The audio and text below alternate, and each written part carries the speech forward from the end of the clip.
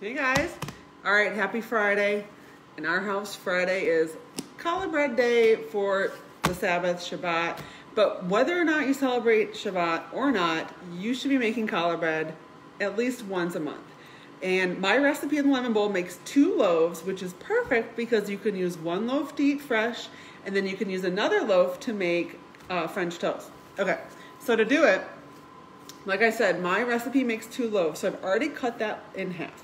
This is the second half, and so you can see what we're headed towards, this is what I'm gonna show you guys how to do, how to braid it with six strand braid.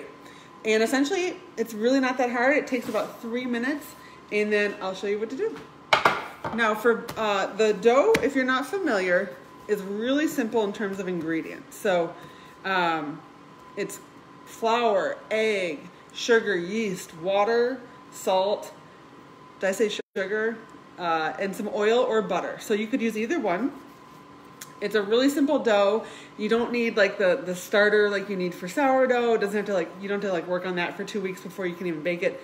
Literally you can make it in the morning, let the uh, dough rise double in size, and then it only takes 30 minutes to bake at 350. So you guys, let me tell you, if I'm baking challah bread, you can bake it too. It's not hard.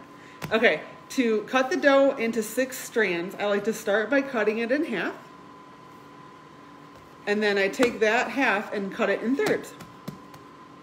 Now, here's another thing, guys. This doesn't need to be perfect. I can assure you once again, if I'm baking it, it's not one of those recipes that needs to be perfect. All right, and then what you're gonna do is take your dough and basically roll it in between your hands into long strands, almost like, you know, making six snakes. And it takes, like I said, about two minutes total to do. Doesn't need to be perfect, guys, but you want to try to get them similar in length and, and diameter. So one down, five to go. Now you could also do a three strand braid if you would like. And I like to do the six strand braid because the recipe makes so much dough, you might as well. Okay, how do you spell the name of this bread? It's spelled challah, C-H-A-L-L-A-H. And in the description of this live, I have the URL to the recipe on my website. But you could just Google the lemon bowl challah bread or go to thelemonbowl.com and search for challah bread. Okay. Two down, four to go. And after we braid it, what we do, and you'll notice when you see challah bread at the store or the bakery, or maybe someone you know has made it in the past, it has that beautiful brown golden sheen to it.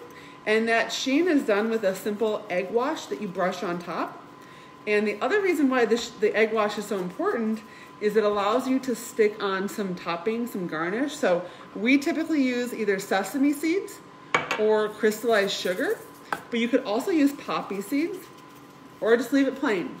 And heck, you could probably get way more creative than that. I mean, uh, like for example, the everything bagel seasoning, that would be delicious on challah bread.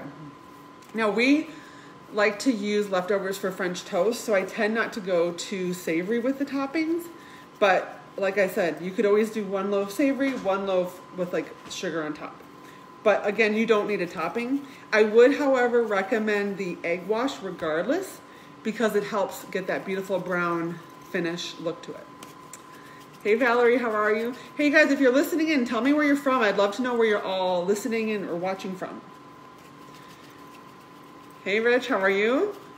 My cousin Rich is here from Boston. Okay, so we have five strands done, one more to go. And again, if you're just tuning in, we're making challah bread.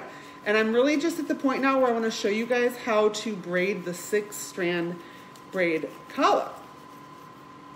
And so you have reference of what we're doing. This is what we're gonna end up with. All right. Almost done. And like I said, the goal here is just to have six pieces of dough that are somewhat even in diameter and length, but it's totally fine if they're not. Ooh, we got Tennessee in the house, Sacramento. Ooh, Windsor, Canada, right across the water. Virginia Beach. You guys are everywhere. Okay, so what I'm doing here is I'm taking, I love Baltimore by the way, I'm taking the top of each strand and just connecting it. And then I basically am pinching the dough together so that it sticks as it bakes. Okay, so now we've got that all taken care of. And I'm gonna show you how to weave this. And if you've ever made a pie crust, it's similar like that. So you basically start with the far right and you go over and then under, then over, under, over. And then you just repeat that again. So you go over, under, over, under, over. So again, this always reminds me of a lattice pie, pie crust, if you've ever done that. It's very similar. Here's the other thing, you guys. It doesn't matter what it looks like, it's gonna taste delicious. So don't worry about having the perfect braiding skills. Uh, literally, you could just like twist a bunch of bread pieces together. You could put it into all different shapes. It will be good regardless of how it looks. So don't get too hung up on that. And in fact, when I cut the dough in half, like this one's definitely smaller than the other loaf. Guess what? There's no there's no right or wrong. I always say in a pandemic there's no rules. So it's fine. You're baking bread, you've already won. All right. Uncle Michael's here, Dallas, Orlando, Baltimore, we got everyone. What's CP? What does that stand for, Cecile? Okay, so we have the bread and it is all braided. That took me about three minutes total, even while I'm gabbing away. And I'm gonna show you the next part. So first we're gonna put it on a prepared sheet, which I just have lined with a silicone baking mat so it doesn't stick. Okay, here's the fun part. We're gonna take this egg wash, which is just one egg that I've whisked up, and I'm gonna brush it on top. And like I said, this is not so much for flavor so much as it's for creating a beautiful golden brown sheen as it bakes up. And it also gives something for the garnish, the topping to adhere to. And we're gonna be using uh, some sesame seeds today. I already did another loaf with crystallized sugar, but you could also use poppy seeds or even just kosher, or excuse me, coarse salt would be really good. I like the um, toppings because it gives a little bit of crunchy texture, which is always nice because this, this bread is really eggy and soft and squishy and fluffy. So having something crunchy kind of balances it out. Okay, that looks perfect. Now I'm gonna take my sesame seeds. I know, I knew that was gonna bug someone, but Rita, I have good news for you. No one's eating this bread but my immediate family, so it's okay. Um, okay, I'm just sprinkling this with sesame seeds. You don't need to do too much, but it's totally okay. And then this goes in the oven for 30 minutes and it's done. It's so easy, 350. You can get the full recipe for this challah bread at thelemonbowl.com. And I really encourage you to make it at least once in your life.